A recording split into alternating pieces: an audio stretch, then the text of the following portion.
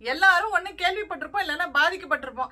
வாலிப வயசுல பசங்க பொண்ணுங்க ஒருத்தர் இதயத்தை ஒருத்தர் திருடிடுவாங்க அது கேட்க கொஞ்சம் குளு குளுன்னு இருக்கும். மத்தபடி திருட்டுனாலே வயித்தறிச்சல் தான். செயின் திருடுறது பிக் பாக்கெட்டு வீட்டுல பீரோல திருடுறது கிராமத்துல பாத்தீங்கன்னா ஆடு கோழி திருடுவாங்க. இப்ப டவுன்ல பிறந்த குழந்தையெல்லாம் கட்டப்பையில திருடிட்டு போறாங்க. இது மாதிரி திருட்டு பல வகை விஞ்ஞான திருட்டு எல்லாம் சொல்லுவாங்க. நேத்து நியூஸ் ஒண்ணு கேட்டேன் பாருங்களேன். அதாவது கர்நாடகால ஒரு அங்கன்வாடியில குழந்தைங்க. அவங்க தட்டுல வந்து ஒரு முட்டையை வச்சுட்டு ப்ரேயர் பண்ண சொன்னாங்க. அந்த குழந்தைங்க கண்ணை மூடி ப்ரேயர் பண்ற நேரத்துல ஒரு ஆயாமா போட்டோ எடுத்துக்கிட்டாங்க. இன்னொரு ஆயாமா படக்கு படக்குன்னு அந்த தட்டுல இந்த முட்டையெல்லாம் எடுத்துருச்சுங்க. அதாவது திருடிருச்சு. அந்த குழந்தைங்க கண்ணு திறந்து பார்க்கும் பொழுது அந்த தட்டுல முட்டை இல்லாத அந்த ஏமாற்றமும் அந்த ஏக்கமும் வலியும் அதை பார்த்ததுல இருந்து முட்டையை நிறைய தின்னுட்டு செரிக்காம இருப்போம். ஆனா இந்த நியூஸ் இன்னும் செரிக்க முடியலைங்க.